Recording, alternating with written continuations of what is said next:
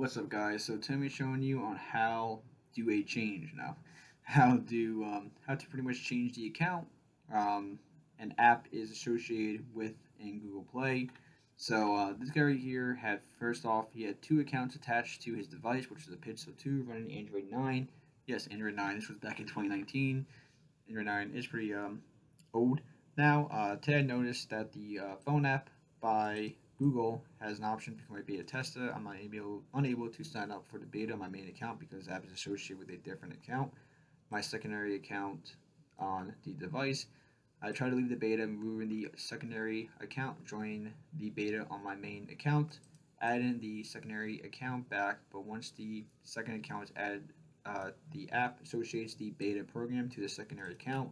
How do I change the associated with an app beta program? Any help would be greatly appreciated. Thanks in advance.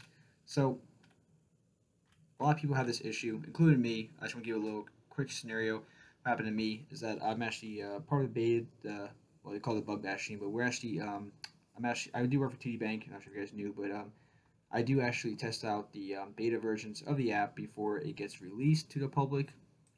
And short, um, long story short, I was actually getting this error when I was actually trying to um, pretty much get the beta version of the app on my Gmail account. Um, it kept giving me like this error, so um, I'm gonna show you guys on how to fix it. For me, the fix was um, there wasn't any. It didn't tell me how to leave the program. You guys can try to go to Google, um, like the Play Google Play Store, and go to your settings and go to your like manage your apps, and then actually leave it from there. I had no luck doing that, but I guess because I wasn't in the beta program, um, so that was the issue. But it did take um, like a couple hours later. Um, sometimes Google is slow when you register an account to the beta program.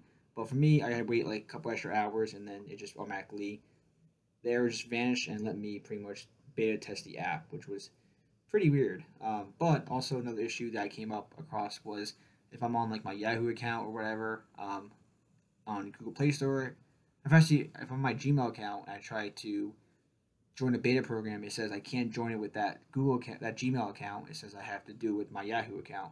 So it's kind of weird. Um, it's nothing to do with Yahoo or Google specific. It's just that I think that I I joined a beta program on that Yahoo account originally, so it's not letting me join it on my other Google account, my other Gmail account. So hopefully this helps you guys how to fix it. You guys can see this dead right here. Oh, what the? this dead right here, guys. So you guys click this link. Uh, that's what works for him was clearing cache and data for the Google Play Store app, restarting, and then um, opening the Play Store app again. Make sure it's logged into your preferred account. That's something you guys can try. I also try to have this link down in the description for you guys to check out. Um, yeah, this was a pain for me too. I was looking at this for like hours, and then I realized that I had to give it a couple more hours that for me for it to work. Um, but yeah, it's a little annoying figuring it out. It should not be this difficult. So the only way that works for me. So this is the the post I actually want to show you guys. Um, hopefully this post works for you guys. So uh, pretty much what worked for this guy, something that you can try out, is that the only way it worked for him was to remove the Google Play account from his phone.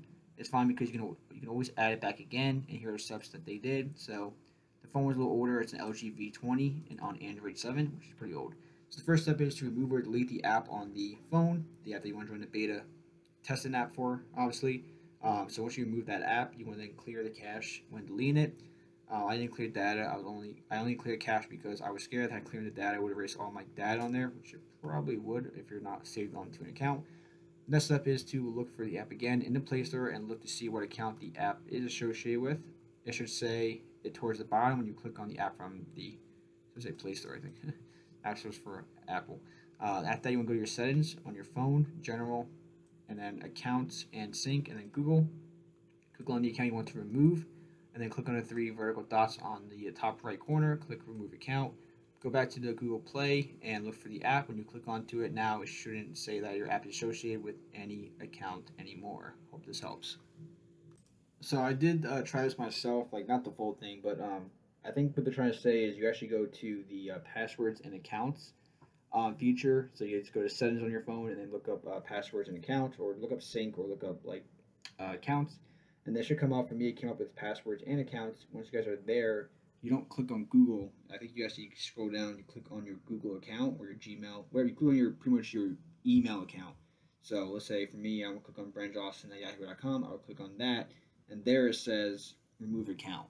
So I'm assuming that's where you want to remove the account, and then you would pretty much want to uh, after you remove the account, you then you go back to Google Play Store, and then you actually click onto the app, and now it should be associated.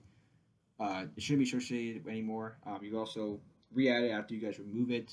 Um, can, I would actually delete it, and then uh, try to beta program, test it on your other Gmail account or your other Yahoo account that wasn't working. I mean, email account that wasn't working, and then go back to um, to re-add your other email account.